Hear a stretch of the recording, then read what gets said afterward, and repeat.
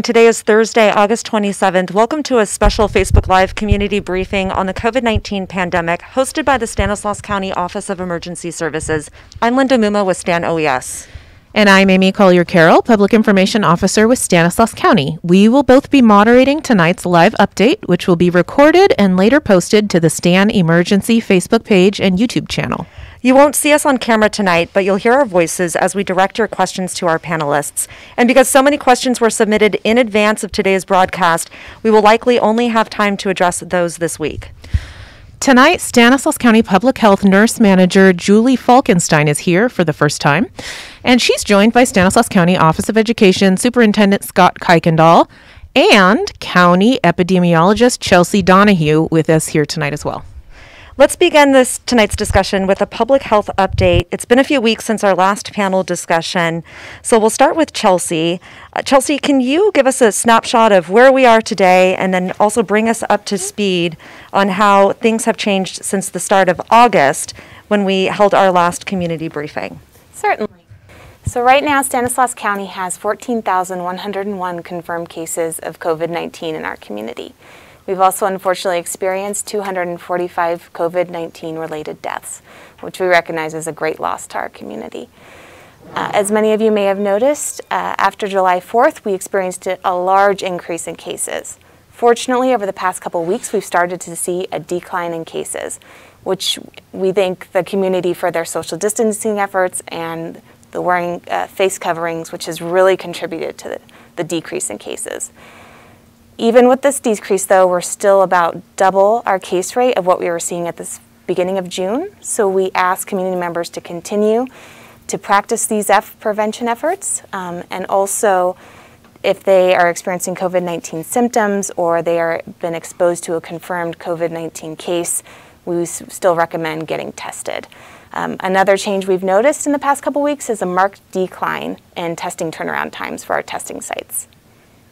You know, and I believe you're the first uh, epidemiologist we've had join us. Will you just briefly explain what an epi- epidemiologist is and what it is that you, you do exactly? Certainly. So, an epidemiologist is someone who tracks disease trends. So, essentially, we take a look at who a disease is impacting, what communities are being adversely impacted, how health disparities contribute to those impacts, and what prevention efforts um, we can implement to decrease the spread of a disease. Thank you, Chelsey. We'll stay with you for just a moment. You mentioned testing a, a second ago. Mm-hmm. So, our COVID 19 percentage of positive numbers are declining locally. Are we seeing less illness or just less testing? And then, are we testing enough of our population? Yeah, that's a really good question. So, that's always something we consider when we look at case rates.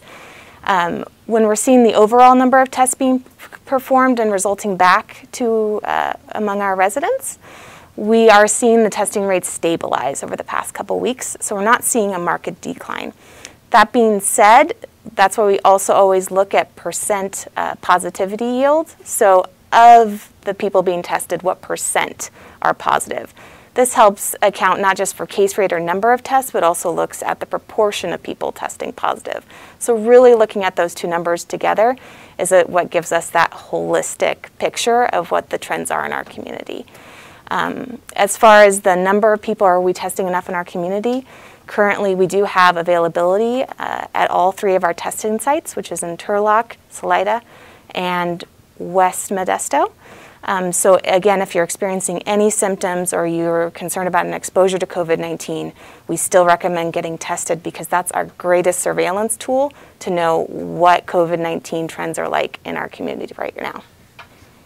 Chelsey, we'll stay with you for just a minute because we had a couple of questions um, over the, the course of this week about testing. So, can you speak to test turnaround time and the availability of testing in our in our county? Yeah, certainly. So, right now, um, as I previously mentioned, we do have testing. Uh, our testing sites have appointments, same day appointments available. So, anyone who wants to test, um, we do have availability currently to test those people.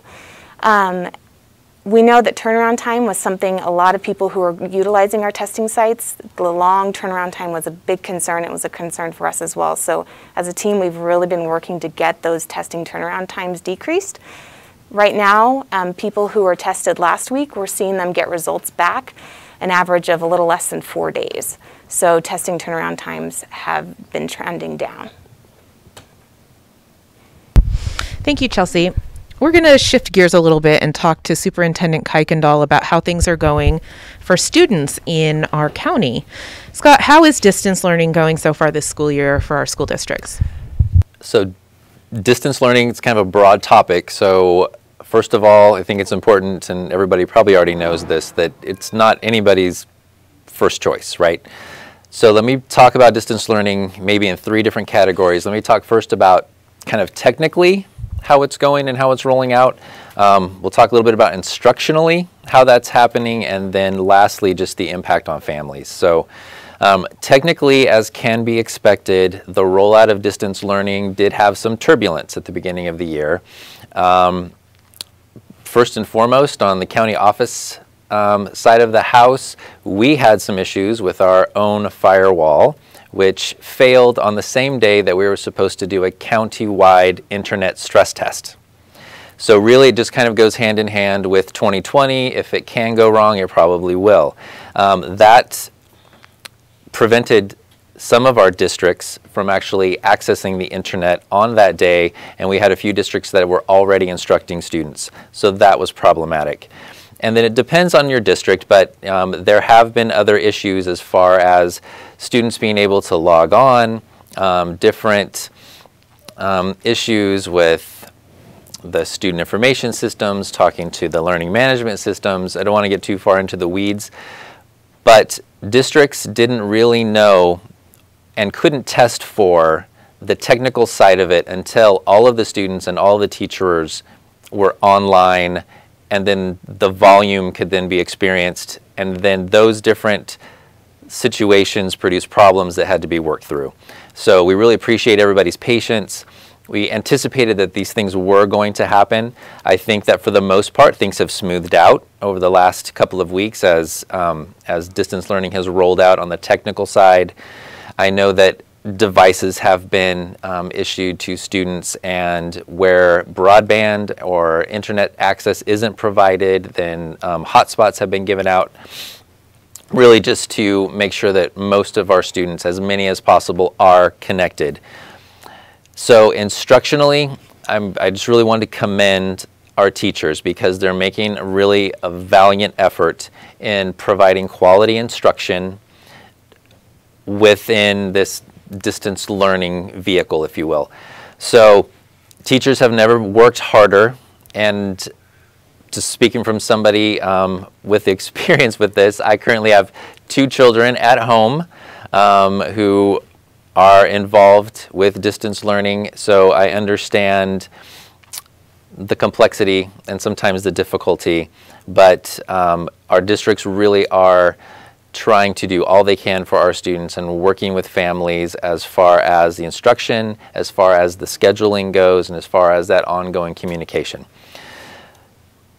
Lastly, just that whole idea of the impact of distance learning on families. And I think I alluded to that earlier just with my own experience with my wife and our two children who are at home. I know that this is difficult and I know that it's challenging, especially when you've got younger children in the home who are of grades, let's say kindergarten, you know, through third, who can't do a lot independently.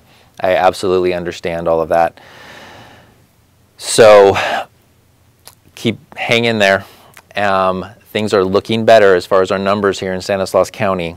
And then I'll talk a little bit more about some allowances um, as far as the waiver process that is, um, that is coming our way, as well as the opportunity for small group instruction.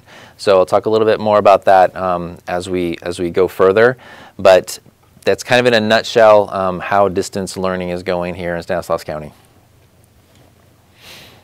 Thank you, Scott. I know you could probably answer this question, but I uh, want to get to uh, Julie Falkenstein, our, our, public health nurse manager here. Julie, what what do what does the California Department of Public Health guidelines say about when we can reopen schools safely? So those guidelines vary based on the age of the students. Um, if we're talking transitional kindergarten through sixth grade, we actually have an opportunity to potentially start school for them earlier um, than for our junior high and high school students. We need to get to the point where we are under 200 cases of COVID per 100,000 people every day, um, and that's a rolling 14 day average. And we're getting there, we're not there yet. Um, and once we get there, then we can look at waivers and plans essentially to keep kids, to reduce the risk as much as possible for kids going back to in person learning. Our junior high and high school students won't be going back until after we are actually off the, the state's watch list. So we actually need to get down under 100 cases um, per 100,000 people um, for 14 days before we can let our older kids go back to school. Wow, thank you. So, we have told districts in our county recently that they can begin applying for a waiver to reopen schools. So, who decides whether a district's elementary school um, open waiver is approved? Is it the state or is it the county public health department? And what is the process on that? How long will it take? There's probably, I'm going to say, about three different levels to opening back up our schools and the waiver process. The first one actually has to do with each of us individually. Um, in order to hit that baseline um, infection number, we all need to be wearing our masks and practicing social distancing. Um, because that's the only way that as a community we're going to be able to allow our schools to open. After that, what's going to happen is our schools will fill out an application. It's a waiver application that is really attached to their reopening plan about how they're going to reduce the risk in the school of COVID transmission. They will submit that to public health. Um, it goes to SCO to go up on their website, and then it comes to public health for review. We will go through that. We have a, a checklist that we've provided to schools, um, and we will go through that checklist and their plan and have feedback back and forth and discussion um, about where the, the plan is. Um, once we've, there's several of us that are reviewing each plan, so it's not just one person kind of making a decision. It's a couple of us together.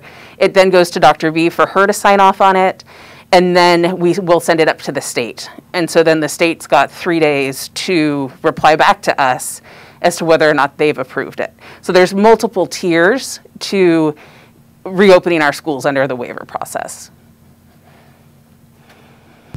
Thank you so much. Um, let's head back over uh, to Chelsey.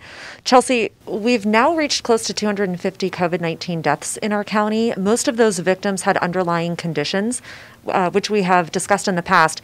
Can you share what the most common underlying health conditions have been in terms of who has contracted and uh, died from the virus? Yeah, so that's correct. We've unfortunately, we're getting close to that 250 mark for COVID 19 deaths in our community. Um, as you mentioned, we are seeing people with comorbidities uh, more adversely impacted by this virus. It's still a new virus, so we're learning a lot about what comorbidities impact people and at what levels, and where we're seeing more severe outcomes with one uh, underlying condition versus another. The data, though, is pretty consistent in showing people who are experiencing underlying conditions like cancer, diabetes, asthma, um, chronic kidney disease, heart conditions, uh, all obesity, um, all of these underlying conditions have been shown to have that severe adverse health outcome. And so we really ask those high risk populations to make sure they're taking the needed precautions to prevent contracting COVID 19. And people are living with family members who have those underlying conditions, making sure they can do everything they can to prevent um, people with those health conditions from contracting this virus. Thank you, Chelsey. A lot of people are tracking information about how many people have died and that sort of thing on our website where we have dashboards available. But for a couple of weeks, we did have to take down our dashboards and now we've put them back up. Can you explain what was going on with our dashboards during that time? And if the information that's up there now is accurate and up to date? Yeah. So starting on August 5th, we had to take down our dashboard um, for a brief time due to an ongoing issue that was being experienced with the state's surveillance system called CalREDIE. Essentially, that issue prevented electronic lab reports from laboratories who were producing those COVID 19 results to getting to local health jurisdictions. So, because we weren't getting consistent incoming data, we didn't have consistent data to show to the public, to show to the community um, on our dashboard. So, that's why it was taken down briefly. Once we were assured by the state that that reporting error had been fixed within CalREDIE and that all local health jurisdictions were getting um, the reported test, we were able then to put the dashboard back up and um, the data be, that being report that is being reported now, um, the state has assured us we are getting all lab results. Now, this is um, a, kind of a similar question, but it really has to do with numbers. Mm-hmm. Um, you know, the state's CalREDIE system glitches did cause some confusion there regarding what our numbers were in Stanislaus County for a few weeks. Mm-hmm. Have those issues been worked out at the state, and do our numbers now match, or is there any sort of lag? Yeah, so I know that's been a really large concern we've been hearing and seeing on our end too. This idea of what is the daily fluctuation of numbers and why wouldn't a number being reported by the county match the states and vice versa? So one thing um, we like to uh, let people know is that the exact number of case counts can be impacted by when the data is retrieved. So we will, based on when that data retrieval happens, our, the state's number and our number may differ. Um, the other thing we ask people to look at is I know that daily case rate can, or not case rate, that daily case count can go up and down. Um, but in order to see what trends are going on in the community, what COVID 19 spread looks like in our community, we ask them to look at those other numbers like case rates, like testing positivity yield. And the reason why we have those numbers up there is because that's not just a snapshot in time, right? That's not just a single day we're looking at data. That looks at cumulative counts, that averages counts, and it also does some lagging. So it, it, we look back a couple days. So we know that the data we're reporting and the trends we're reporting is a more holistic picture of what current trends look like. Um, so there are lags, and that's what's happening with those daily case counts. But if you look at the more holistic pictures like rates and positivity yields, those are going to help uh, give you a better idea of what trends are like in Stanislaus County. Thank you, Chelsey. Let's go to Superintendent Sky, Scott Kuykendall again. And we'd like to talk for a little bit about school waivers. Julie Falkenstein brought this up just a moment ago when we were talking about it related to public health, but let's talk about it related to our districts. First of all, who makes the decision to submit a waiver on behalf of a school or school district? And do you expect all the public schools will request waivers to open elementary schools soon? So the first part of the question is um, really who makes the decision, and, and the decision really is made, you know, by the superintendent. Um, obviously, the board is going to be involved in that decision as well. And then there are other stakeholders that are involved in that process. Um, there needs to be information gathering and input given by both parents and employees of that district. So that's all part of the process before it gets submitted. Um, do I think that all of our schools are going to apply for a waiver? I would say yes. Um, I think that timing, though, may be um, one of the issues. The waiver is going to be fantastic, especially for our smaller school districts um, who already have smaller class sizes. Um, they're going to easily be able to meet all the different criteria, quite frankly, of the waivers moving forward. Um, our bigger districts are going to have a have a harder time meeting all the different criteria as far as um, keeping classes smaller, the social distancing piece, um, some of these other factors. I'm not saying that it can't be done, but it's going to be more difficult for our larger districts to do that. There's also the idea that districts may want to wait and see what happens. And I would say that this could come from what I would describe as a, an abundance of caution, let's say. We know that in Stanislaus County, when we've had Mother's Day, when we've had Fourth of July, when we've had these different holidays, and we've got another one coming up as far as Labor Day, um, we've seen an increase in, in cases. So there may be some districts who just want to um, bide some time, see what happens in our in our community, make sure that it's safe before they open, and then move forward that way.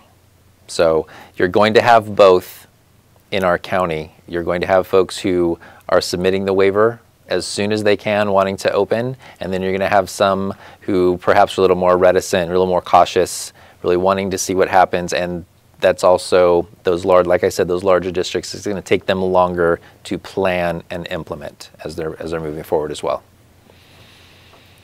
So you're saying if a school district decides not to apply for a waiver, it would just be out of a, a standpoint of caution to see what happens and some other considerations. Absolutely. So will the school waiver plans be made public for parents to read? Absolutely, and that's part of the state requirement. And we've already partnered with County Health. So all of the waivers that are submitted are posted on the Stanislaus County Office of Education webpage.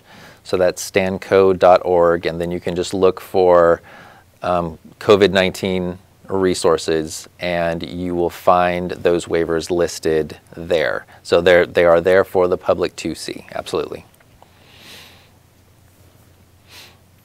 Thank you, Scott. Let's head back over to Julie. Uh, Julie, we have said that it isn't up to us to make the determination about whether or not schools reopen.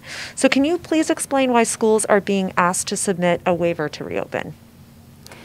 Yeah, so the state has um, set the guidelines for school reopening. Those aren't set locally.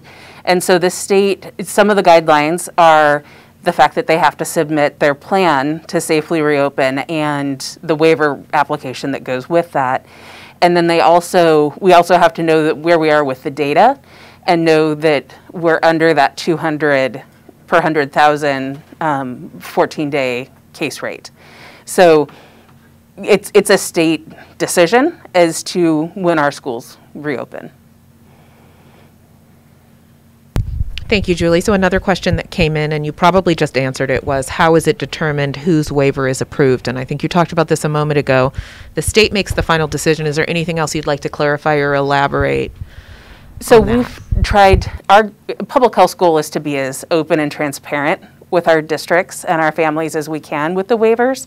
Um, we've put into process a checklist so that everyone is has got the same template that they're following. Um, we've got more than one person reviewing every application, so we don't have reviewer bias. Um, and then we're we're working in tandem with the schools on their waivers.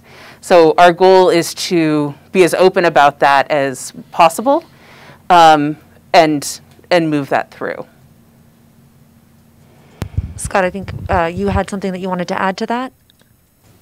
I did. So, um, wha- as we're going through this waiver process, which is new for everyone, again, going back to the distance learning, we know that it's nobody's first choice. Um, I'm just asking that folks be patient because even with the submitting of a waiver, there's still the approval process. And even when we do get below 100 cases per 100,000, and we're talking about our 712 students, there is still really a 17 day wait and making sure that we get off of the monitoring list. So I just want I just want folks to understand that just because we get under that 200 mark doesn't mean that our schools are going to open up that next week. Okay, there's still going to be a several week process for us to plan. And what we haven't talked about yet, and we probably will, is the fact that we have to have the capacity here in Stanislaus County to ensure that all of our educational staff, so that's teachers, that's administrators, that's office staff, that's transportation, that's everybody that works in schools, is tested at least once every two months, roughly. So that's about 300 tests a day, just ballparking it. So we need to make sure that all of those different things are accounted for and that we have the capacity to do what's needed in order to not only open schools but to keep them open, keep our students safe and our staff safe as well.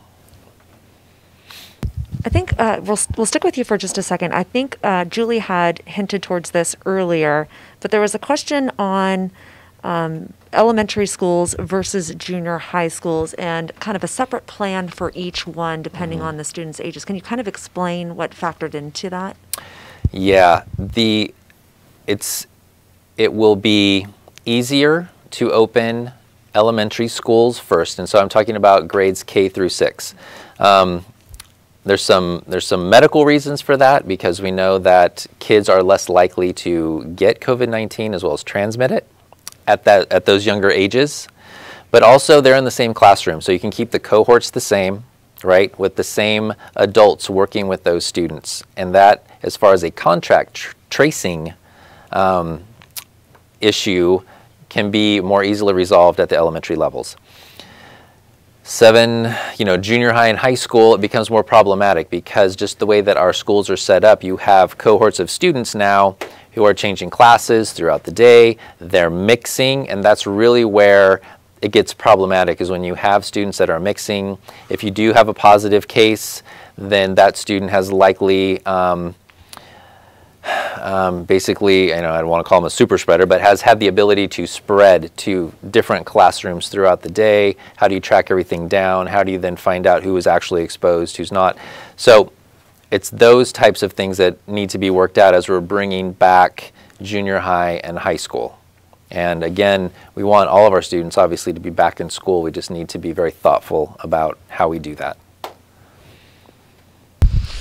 Thank you, Scott. When do you anticipate 7th through 12th grade students will return to the classrooms?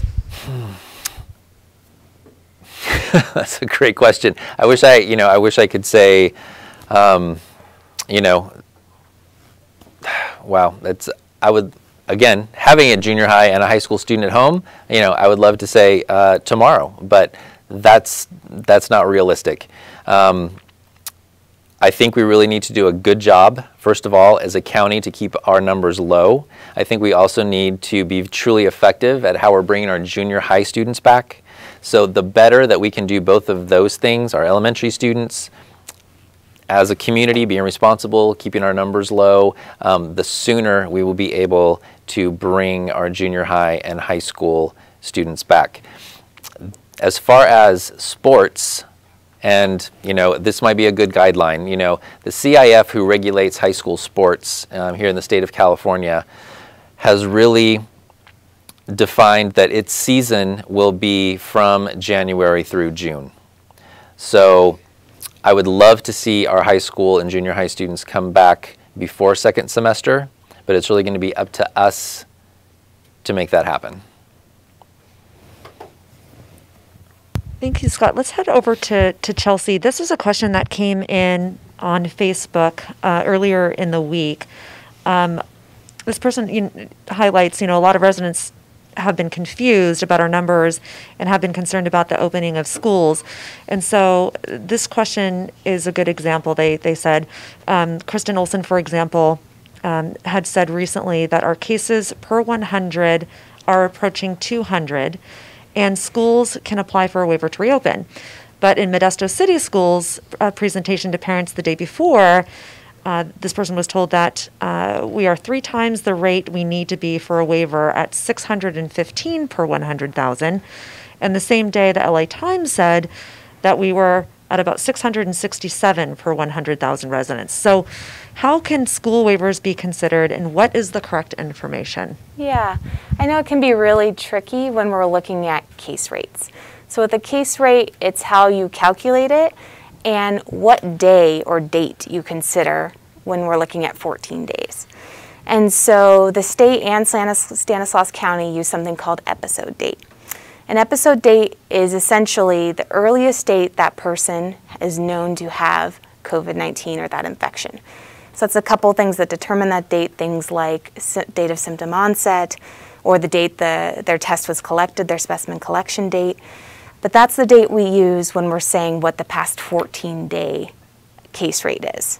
And so we look at the cumulative 14 day cases for using episode date per 100,000. And so when we do that calculation, we're, we're at that, I think we're at um, 235.8 today. Uh, however, if you use the report date, so that's the date we're reporting out that positive case, um, you can get a much higher number. So using just report date, it's closer to 600. And the reason why that's so different is because as you guys have been seeing, there's fluctuating cases every day. Unfortunately, not all those cases you see reported that day necessarily are recent cases. So we looked at the cases that were reported yesterday, for instance. 74% of those cases we got yesterday had an episode date within the past two weeks. So those cases would be used to calculate that 14 day case rate. 26% of those cases, however, had an episode date that was more than two weeks ago. And that can be caused by a variety of things. It can be caused by delayed reporting, it can be caused by um, delay in the healthcare facility reporting to us, it can be caused by delayed testing turnaround time. But that number isn't consistent and it's not stable. So when we're looking at what's happening now, we want to look at people who had an infection within the past 14 days. And so that's why we like to use episode date rather than that report date. If we're having something consistent, we'll see that report date and episode date, those rates should be fairly similar, but things like when CalREDIE went down, right, and so we got a large amount of cases reported over the past couple weeks, that's really going to create that report date case rate to go up.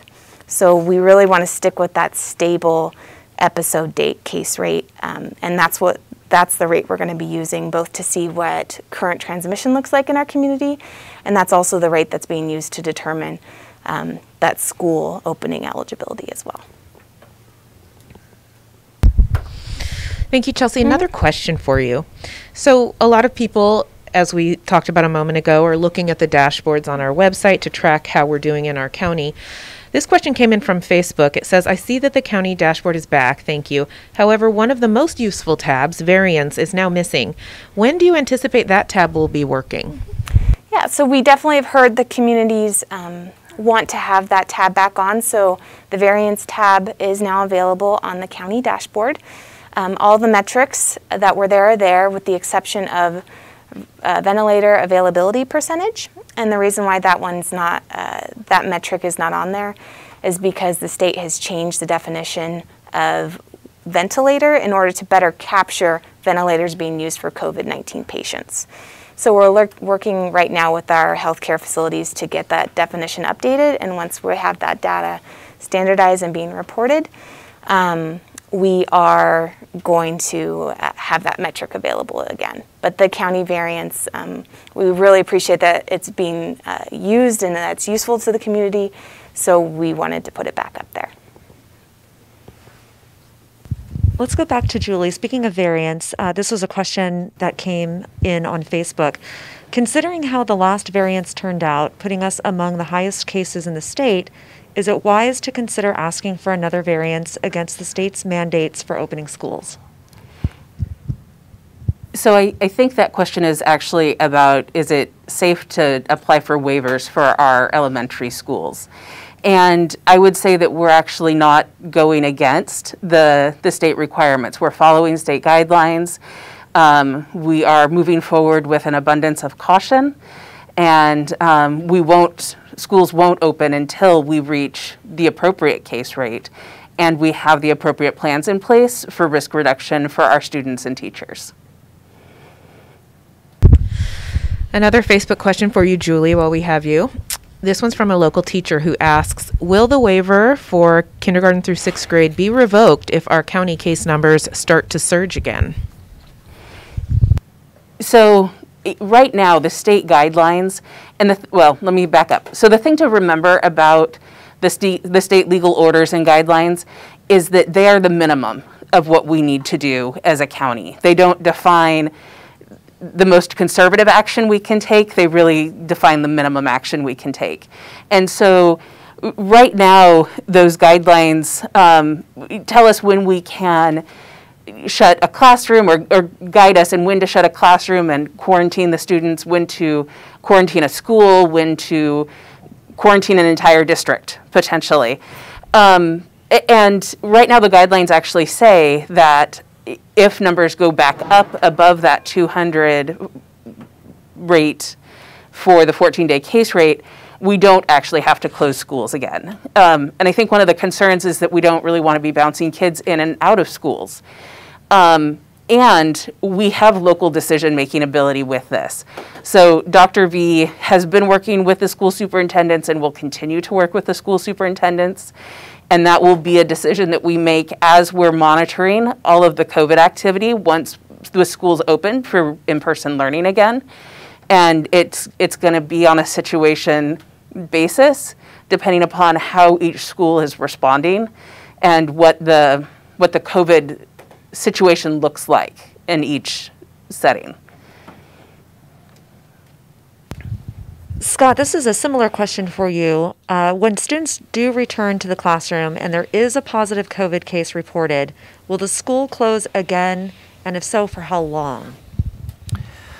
So I think what Julie uh, may have been referring to as well is because within the state guidelines, there's also a matrix, and it really is kind of uh, if you have this situation or scenario, that will then dictate these actions. So if you have a student who is a who is just um, showing symptoms, then you would send that student home. Okay, or if you have a student who is a positive um, case and you discover that on a campus, then you would follow a different set of protocols as far as now we're looking at not only sending the student home, contacting public health, doing some contact tracing, um, seeing where that student was. So that matrix is already spelled out. So, so districts have a template, they have guidelines, if you will, to follow as we're moving forward with this. And we know that um, we will have positive cases. I mean, that's just, that's just something that's going to happen. Um, probably more likely actually with our staff than, than students typically. So we know that this is likely going to happen and we can plan for that. And this almost goes back to that other question about, you know, would there be a reason why districts wouldn't apply for a waiver as soon as possible? And that is another that is another um, argument that you don't want to have the yo-yo effect of getting kids back into school only, like we're seeing at some universities, especially back east, only then to cancel school, everybody goes back home, and now we're on distance learning, um, you know, temporarily until things come together. So there is a plan in place. Um, there are that there is that matrix that's worked out, and that's what our our school leaders will be following once schools come back online. Thank you, Scott. You spoke about this a moment ago, um, but it's a two part question, and I think it's worth asking because the second part we haven't addressed. So the question is if and when the opening of schools happens, what are the guidelines for staff and student testing if there's a suspected exposure?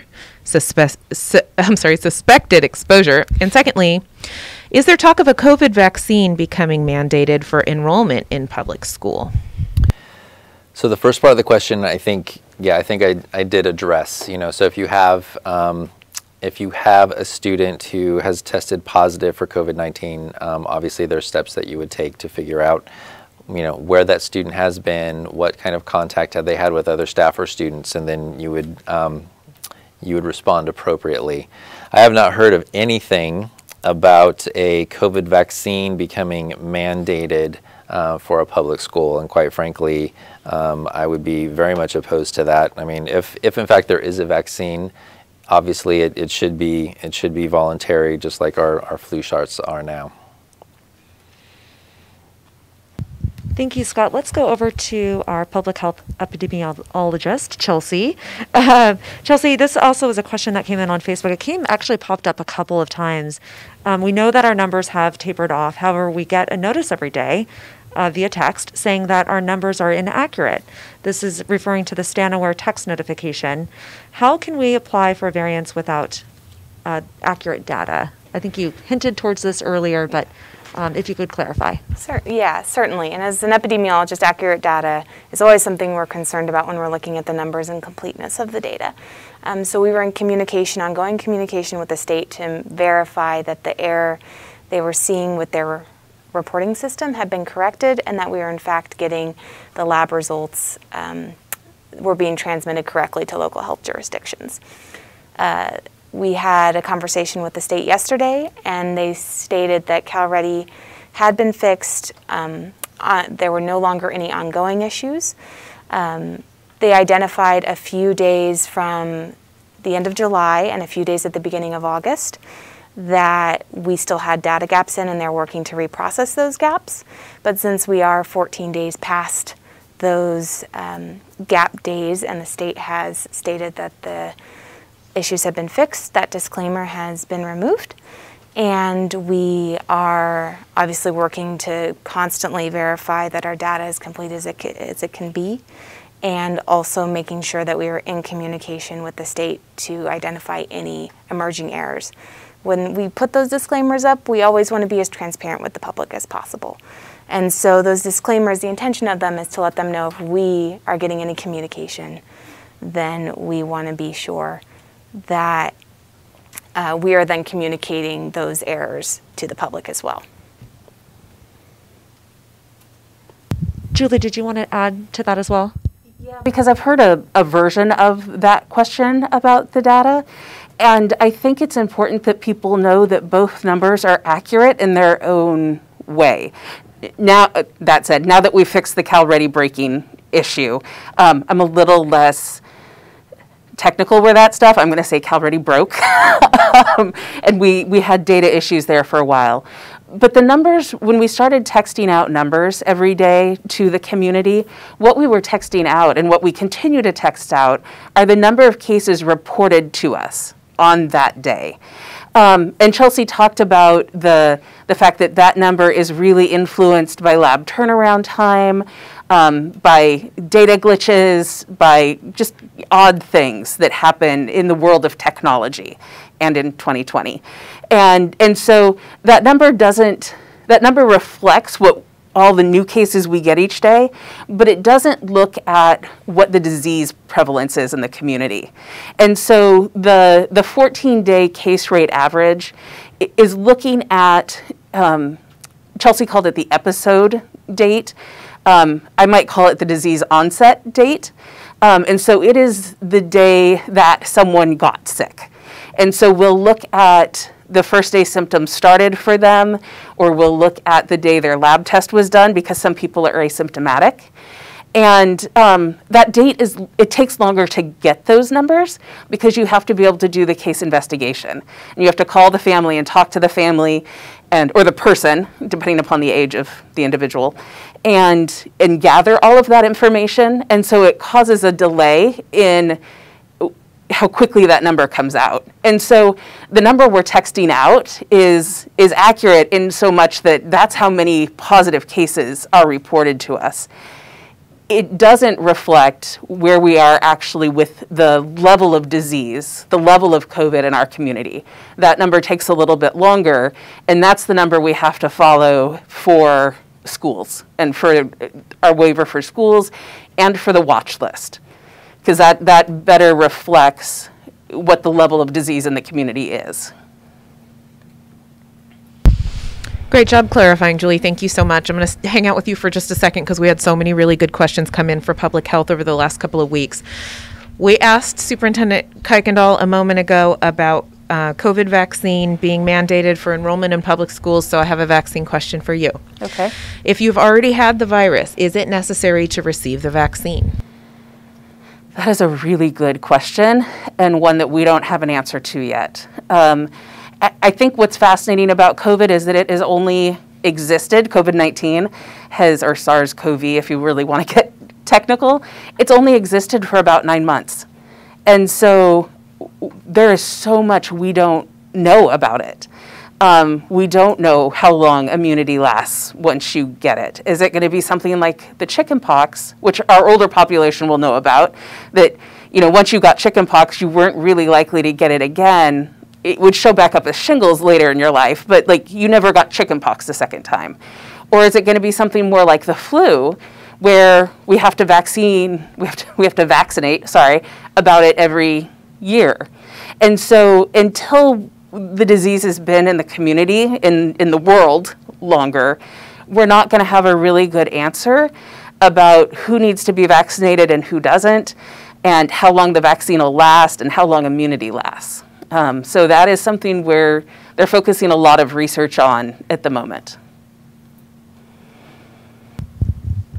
This question just kind of it popped up. I think there's been in other communities um, maybe a handful of, of people that have actually contracted it twice. Have we had any incidences like that in our county, that you, to your knowledge?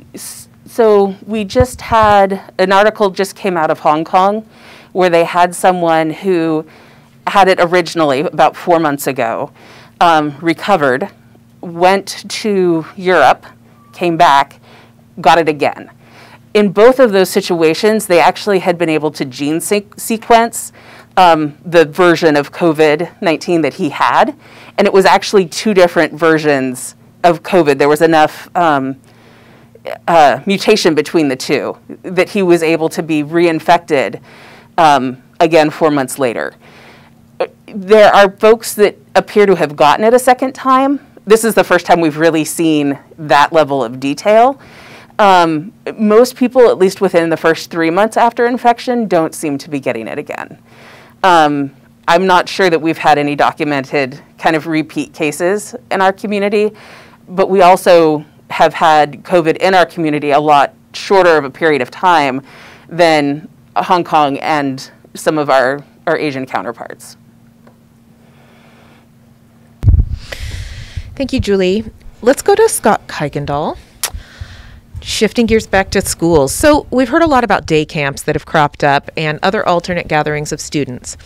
If a school is not open for in person instruction, is it okay for a small group of students to receive in person, targeted, specialized support and services on campus? As of this week, it is. And we just got that new guidance um, earlier this week. This has been a point of frustration for schools because we had some guidelines for day camps where they it was permissible to have small groups of students if you only had a very limited number of adults working with them and you kept the cohorts the same and you were trying to do as much outdoors as possible. So schools have now in a sense been given that same permission and it's it's really crucial because in San Stanislaus County, I mean we do have groups of students that really don't have access to the internet, which makes distance learning impossible. You know, and I'm thinking I was talking to the superintendent out in Roberts Ferry, who has the La Grange area, so you know, kind of our eastern Stanislaus County areas where there's not a lot of connectivity.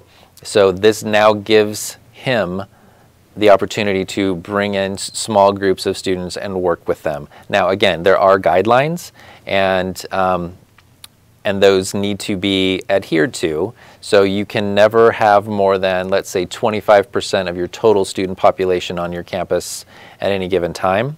But for working with those students with no connectivity, with working for students um, who are English learners, with working with students um, who um, are in special education, um, that's fantastic. For our homeless youth and even foster youth, so some of our youth that are really at risk and distance learning perhaps is not only a connectivity issue, but you know you have issues going on, you know, within the home or within the particular culture. So it allows schools now to begin working with small groups of students in a very safe environment. You still have PPE, again, that cohort thing where you're keeping the same students together with the same adults, and they can only be two in a class, two adults in a classroom, and that's it. Um, so that's that's at least something, and that's a starting point. So we are excited about that moving forward. This, uh, Scott, by the way, is, is what you were referring to earlier as pods? Right. So um, you may also heard, yeah, these smaller groups, you may have heard of them as, as learning pods.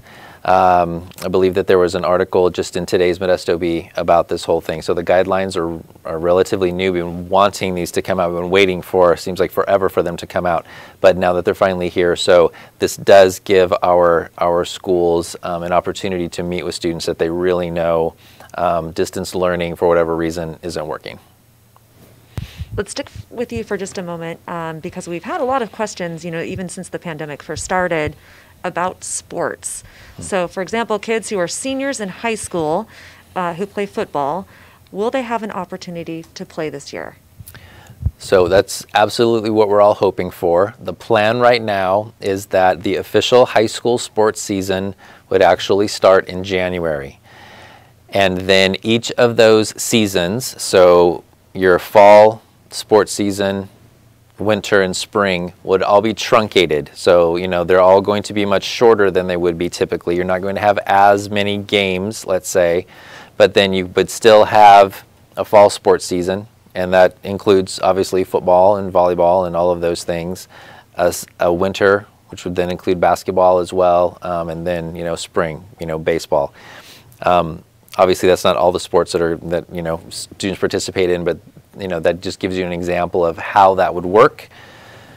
So uh, that's the plan. The plan right now, um, and I hope that I hope that it, it stays, and that I hope that our young um, men and women who are in high school, you know, and who really thrive um, on athletics will be able to have that opportunity, and hopefully starting in January.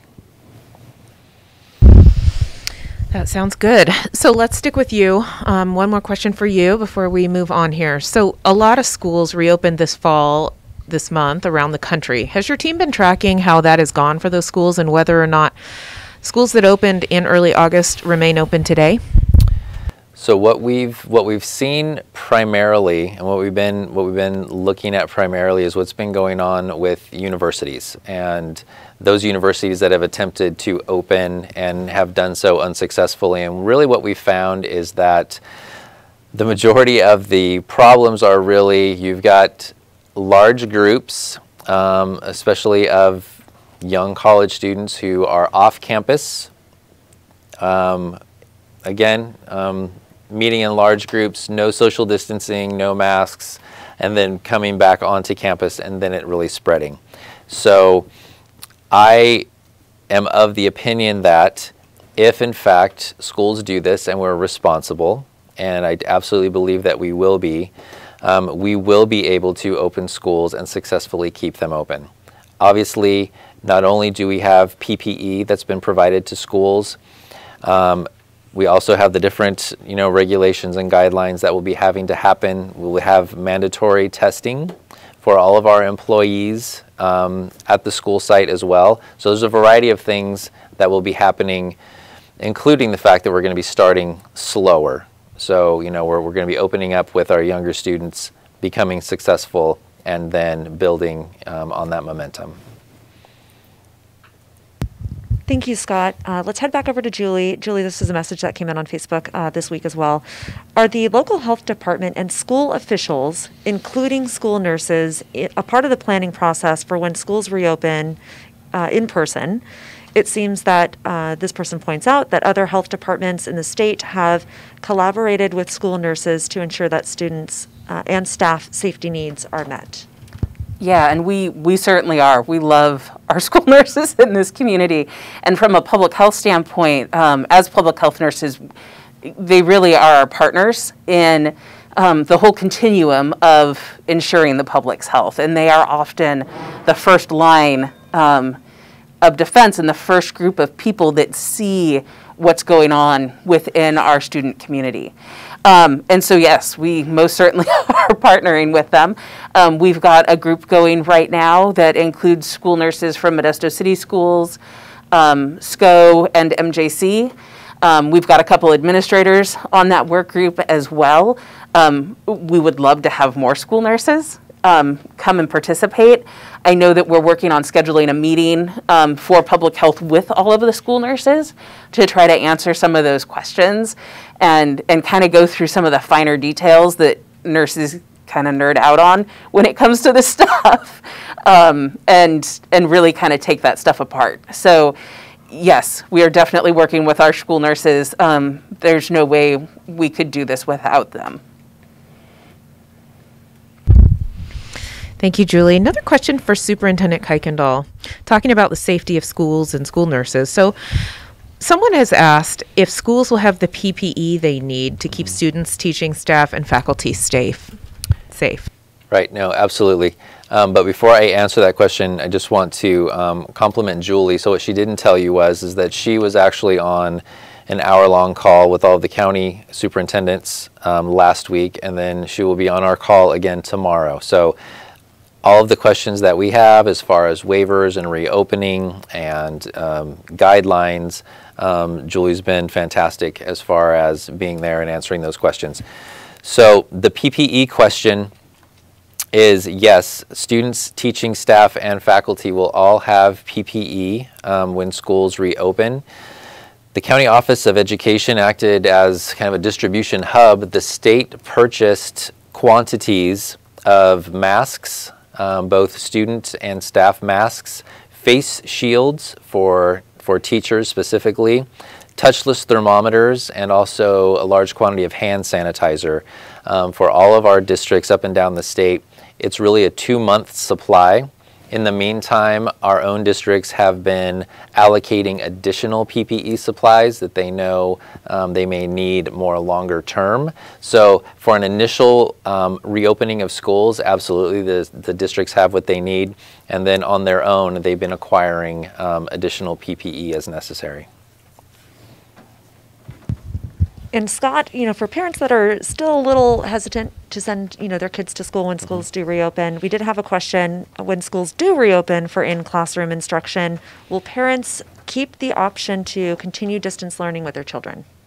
So if parents would like to continue with the distance learning option, absolutely. That will be that will be made available. And that was going to be made available to parents even before all of our districts were more or less, you know, kind of forced into going into this distance learning model. So that we, we understand that there are parents who have concerns um, and we want to make sure that they understand that if they're more comfortable with their child in a distance learning or independent study situation, that absolutely they'll be able to do that. Thank you, Scott. One more question for Julie. So we've talked about what our rates have to be for um, waivers to be approved and how schools can reopen, but we didn't really talk about that checklist that you referenced and what will be required. And this question came in that I think you could probably answer. How much spacing will be required for students in the classroom if a waiver is granted? So the state um, is pretty clear that adults need to stay six feet away from students. We know, particularly with this younger group, um, adults transmit both get and transmit COVID easier than our students do. And so that's fairly clear that the adults are going to need to be six feet away. Um, the students, they're more open with what that might look like. Um, it could be spacing of desks, it could be partitions on desks that provide space or provide barriers. Um, if we think about spacing, and this is true in a classroom just as much as it's true in the line at Costco, um, Three feet is good. You get good coverage from three feet. Six feet is better. Nine feet is even better yet. Um, and so, but we also have to think about what what our classrooms look like. And if we have nine feet of space between students, how many students could you actually have in the classroom? So, which is why the state allows for some other barrier methods of um, spacing with students. Scott, we had a, another question for you, and you're going to have to help me with this acronym, um, but this came in an email. Will SDC classes be included to return in K6 waivers uh, district uh-huh. will apply districts will apply for? Is there any additional guidance to get the the mod severe special ed classes back on campus? So the answer is, so this is a special education um, program, and the answer now is because we have the permissions to do small group instruction, we can begin working with small groups of students um, within those parameters. So, so the, the quick answer is, is yes. Um, we can begin looking at bringing in small groups of students in a variety of different situations, as I mentioned before, you know, either foster youth, um, no internet connection, but another thing is those special education programs that are appropriate, we can start working with small groups um, that way as well. So that's good news. It is good news. Thank you. So, one final question for our epidemiologists tonight. Our numbers are now trending in a positive direction. So, how do we keep up the good work? Yeah, so we're very grateful for the partnership with the community at that community level, that's where that primary prevention that's so important for reducing COVID-19 spread happens. The limiting of social gatherings, social distancing, and wearing those face coverings. So we just ask the community continue to partner with us and help us with those efforts. And especially as we're going into Labor Day, we don't want to see the same spike we saw after the 4th of July. So we ask for your continued partnership and doing those basic primary public health prevention strategies and helping keep COVID-19 transmission down in Stanislaus County. Fantastic. Well, I think we got through a lot of the questions that we uh, received over the course of the last week. So we want to thank all of our panelists for being here tonight and providing the community with this important update on the COVID 19 pandemic and as well as guidance to help keep our families safe. And thank you at home for sending in your questions. If we didn't get to your question tonight, we'll continue to answer them in the social media updates we provide throughout the week. And as a reminder, you can find us on Facebook, YouTube, Twitter, and Instagram. Just search for the keyword StanEmergency. Thanks again, everyone. Stay safe, stay healthy, and stay informed. Good night.